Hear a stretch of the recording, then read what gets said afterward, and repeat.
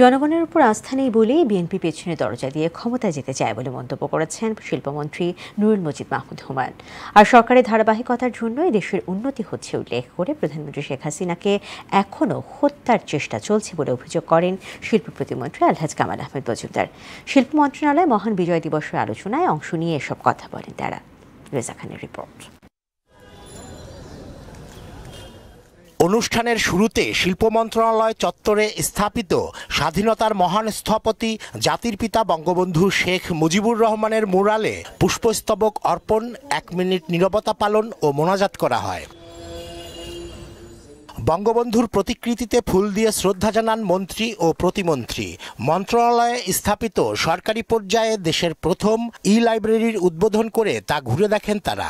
এরপর পঞ্চম তলায় ডে কেয়ার সেন্টারের উদ্বোধন করে শিশুদের চকলেট উপহার দেন মন্ত্রী ও প্রতিমন্ত্রী। পরে সভাকক্ষে বিজয় দিবসের আলোচনায় অংশ নেন তারা।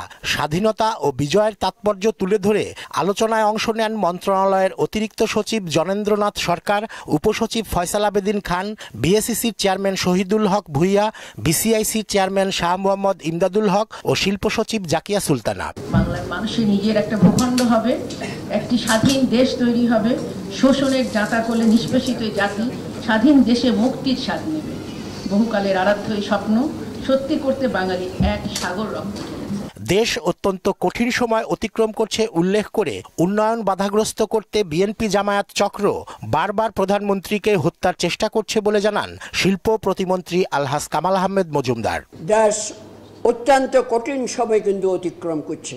আজকে বাংলাদেশের উন্নয়ন সারা বিশ্ব হতবাক দৃষ্টিতে তাকিয়ে আছে। আর আমাদের দেশের কিছু রাজনৈতিক দল কিছু আমরা তারা কিন্তু এটাকে ভালোভাবে তারা মেনে নিতে পারে নাই। এবং তারা আজকে বারবার জননেত্রী শেখ হাসিনাকে হত্যার প্রচেষ্টা তারা চালাচ্ছে। তারা অব্যাহত রেখেছে। আজকে তারা সেই গণতন্ত্রের নামে তারা নাশকতা করছে। আপনারা জানেন কিছুদিন আগে একটি রাজনৈতিক দল দশ তারিখে আওয়ামী লীগ থাকবে না, দশ তারিখে শেখ হাসিনা থাকবে না, খালেদার নেতৃত্বে চলবে। কোথায় গেল? তাদেরকে পারমিশন দেওয়া হয়েছে। সরওয়ার্দী উদ্যানে মিটিং করার জন্য আওয়ামী লীগ সমস্ত মিটিং সরওয়ার্দী উদ্যানে করে। তারা করে না কেন করে না জানেন?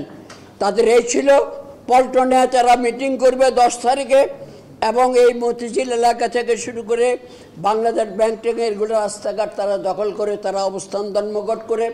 দেশে একটা অস্থিতিশীল পরিস্থিতি সৃষ্টি করবে লোকজনকে হত্যা করবে। রাজাকার আলবদররা শিল্প মন্ত্রণালয়ের অনেক সম্পত্তি দখল করে নিয়েছে উল্লেখ করে তারা এখনও মন্ত্রণালয়ের ভেতর সক্রিয় রয়েছে বলে জানান তিনি।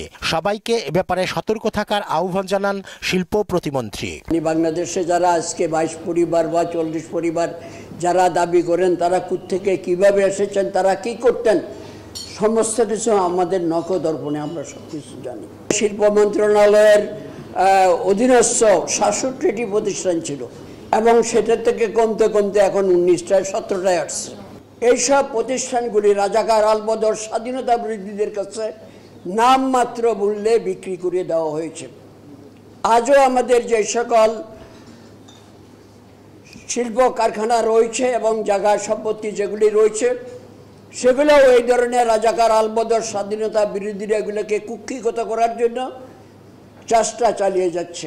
দেশ স্বাধীনের পরে এই প্রতিষ্ঠানে, এই শিল্প মন্ত্রণালয়ে যারা আমরা মন্ত্রীরা যারা এসেছি, যখন যে এসেছে, তাদের অবহেলা অনেক বেশি। তাদের কারণে এই শিল্প প্রতিষ্ঠানগুলি আমাদের হাতছাড়া হয়ে গিয়েছে। নামমাত্র মূল্যে এই শিল্প কারখানাগুলি বিভিন্ন জনকে দেওয়া হয়েছে এবং তারা কোনো মুক্তিযুদ্ধ নয়। যদি মুক্তিযুদ্ধ হতো তাহলে একটা কথা ছিল এরা অর্থের জন্য যা যা খুশি তাই করতে পারে এরা সেটাই করছে। এদের থেকে সাবধান হতে হবে। খেলাপি ঋণের টাকা মৌকুফ হয়ে বিদেশে চলে যাচ্ছে। অন্যদিকে তহবিল সংকটে শিল্প প্রতিষ্ঠান কাজ করতে পারছে না বলে আক্ষেপ জানান আলহাস কামাল আহমেদ মজুমদার। করোনা মহামারী মোকাবিলার জন্য শিল্প কারখানা থেকে শুরু করে বিভিন্ন জায়গায় প্রণোদনা দেওয়া হয়েছে। এবং প্রণোদনার অনেক টাকাই এটা কিন্তু বিদেশে পাচার হয়ে গিয়েছে। আজকে লক্ষ লক্ষ টাকা তাদের মৌকুব করে দেওয়া হচ্ছে। লক্ষ লক্ষ হাজার কোটি টাকা ঋণ খেলাপিদের মৌকুব করে দেওয়া হচ্ছে। আর আমরা এখন উন্নত বিশ্বের মধ্যমায়ের দেশে আমরা উন্নীত হই উন্নত বিশ্বের কাতারে যাব। সেখানে যেতে হলে আমাদেরকে শিল্প মন্ত্রণালয়ে গুরুত্বপূর্ণ ভূমিকা পালন করতে হবে। বিশেষ করে বিসেক এসএমই ফাউন্ডেশন, আমাদের বিটাক, বিএসটিআই, এই দপ্তরগুলি আমাদের গুরুত্বপূর্ণ ভূমিকা পালন করতে হবে। কিন্তু সেখানে কোনো বরাদ্দ নাই। হাজার হাজার কোটি ডলার, লক্ষ লক্ষ কোটি ডলার খেলাবিদের ঋণ হচ্ছে আর অ্যাসেম্বলি ফাউন্ডেশনের কোনো বাজেট নাই। বেসিকের কোনো বাজেট নাই। আমাদের শিল্প কারখানার কোনো বাজেট নেই। সরকারের বিরুদ্ধে এখনও নানা ষড়যন্ত্র চলছে এবং বিএনপি অপরাজনীতির মাধ্যমে ভিন্ন পথে ক্ষমতায় যেতে চায় বলে জানান শিল্পমন্ত্রী নুরুল মজিদ মাহমুদ হুমায়ুন। সাম্প্রদায়িক রাজনীতি যেগুলি আজকে জিয়া জন্ম দিয়ে গেছে বিএনপি জন্ম দিয়েছে, তারা এখন শক্তিশালী হয়েছে, তাদের টাকা পয়সা হয়েছে, তাদের বিদেশি মদতগুলি আবারও তারা শেষ চেষ্টা করবে শেখ হাসিনাকে হত্যা করার জন্য। আমাদের যে উন্নয়নের ধারা, সেটাকে তারা বাধা সৃষ্টি করতে চায়। তারা আতঙ্কিত যে এই নির্বাচনে, আগামী নির্বাচনে ইনশাল্লাহ আমরা মনে করি যে উন্নয়নের রাজনীতি আমরা যেভাবে করেছি, আমরা মানুষের কাছে যেভাবে থেকেছি, আমরা কামাল মজুমদার সহ আমরা যারা আছি, আমরা কনফিডেন্ট আমরা মানুষের উপর আমরা আস্থা রাখছি। তারা চায় পিছনের দরজা দিয়ে ক্ষমতা আসতে লুটেরা ও ধনিক শ্রেণীকে প্রতিষ্ঠিত করাই বিএনপির রাজনৈতিক উদ্দেশ্য বলে মন্তব্য করেন শিল্পমন্ত্রী। আজকে রাতারাতি যেই লুটেরা ধনিক শ্রেণি তৈরি হয়েছে তাদেরকে আজকে প্রোটেকশন দেওয়ার জন্য আবার তারা মনে করছে তারা ভীত হয়ে যাচ্ছে যে আমাদের এই সম্পদ রক্ষা করতে হবে।